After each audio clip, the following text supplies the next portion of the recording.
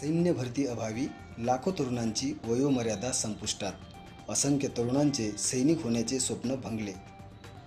गेल्या तीन वर्षापासून एकही सैन्य भरती निघाली नसल्याने जीवतोड मेहनत घेऊन सैन्य भरतीची तयारी करणाऱ्या असंख्य तरुणांची वयोमर्यादा संपुष्टात आल्याने राज्यातील असंख्य तरुणांचे सैनिक होण्याचे स्वप्न भंगले आहे. तर अनेक तरुणांचा हिरमोड देखील होत आहे.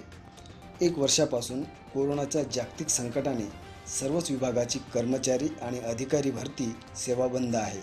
मात्र सैन्य दलाची भरती ही तीन वर्षापासून झालीच नाही.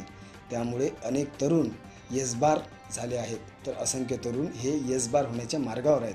त्यामुळे सरकारने तात्काळ ही सैन्य भरती करावी अशी मागणी बुलढाणा जिल्ह्यातील तरुणांनी जिल्हा पोलीस अधीक्षक व जिल्हाधिकाऱ्यांमार्फत मुख्यमंत्र्यांना केली आहे.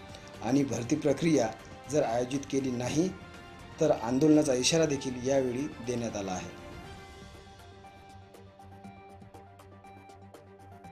ते तीन वर्ष झाले सराव करतोय. मी आर्मी भरतीसाठी तयारी करतोय आणि आर्मी भरतीचं वय आहे जी डीसाठी सतरा ते एकवीस आणि बाकी ऑदरसाठी सतरा ते तेवीस पर्यंत. आज माझे बावीस वर्षे म्हणजे कंप्लीट झालेले आहेत आणि तेवीसाव्या वर्षी सुद्धा कंप्लीट होण्याची वेळ आलेली आहे. तरी दोन ते तीन वर्ष झालेले कुठलीही जी डीची किंवा कुठलीच ओपन भरती रॅली झालेली नाही आहे त्यामुळं माझं वय एक्सपायर झालेलं आहे. आणि आता माझ्यासमोर आयुष्याचा प्रश्न आहे की आपण नेमकं करायचं काय? आणि आता पोलीस भरती सुद्धा झाली घडत नाही आहे महाराष्ट्र सरकार याच्याकडे दुर्लक्ष करत आहे. माझ्यासारखे असंख्य विद्यार्थी आहेत की जे आत्महत्येकडे वळत आहेत की आपण एवढी तयारी करून सुद्धा जर भरती प्रक्रिया होत नाही तर आपण भरती प्रक्रियेची सराव करून काहीही फायदा झालेला नाही. तर माझी स विनंती आहे महाराष्ट्र सरकारला की त्यांनी भरती प्रक्रिया ही लवकरात लवकर सुरू करावी आणि आम्हाला संधी द्यावी. तीन वर्षापासून कोणतीही भरती प्रक्रिया न झाल्यामुळं आज शेवटच्या क्षणामध्ये विद्यार्थी पोहोचलेले आहेत.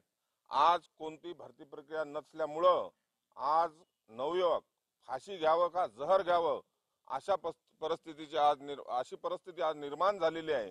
त्यासाठी आम्ही आज बुलढाणा जिल्हा या ठिकाणी एस पी साहेब व कलेक्टर साहेब यांना निवेदन देण्यासाठी आलो होतो. अगर आमची ही भरती प्रक्रिया लवकरात लवकर जर झाली नाही तर आम्ही या ठिकाणी तीव्र आंदोलनाचा सुद्धा या ठिकाणी इशारा देत आहे.